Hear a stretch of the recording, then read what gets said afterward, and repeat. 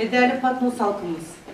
Biliyoruz Muhalefet belediyelerine ard arda hacizler gitmeye başladı. Perşembe günü Samsun Atakum Belediyesi'ne, Cuma günü ise Ağrı Patnos Belediyesi'ne haciz gitti. ciddi bir borç stoğuyla belediyemizi Hacizin bu seferki adresi 1 Mart 2019 yerel seçimlerinde AK Parti'den HDP'ye geçen Ağrı'nın Patnos Belediyesi'ydi. Önceki yönetimin yerel seçimlerden sadece 4 ay önce çektiği 1 milyon 300 bin TL'lik kredi borcu yeni yönetime bırakıldı. Yapılan bu borçlanmadan ötürü önce belediye başkanının makam aracına haciz konuldu. Ardındansa kasada bulunan bir miktar nakit paraya el konuldu.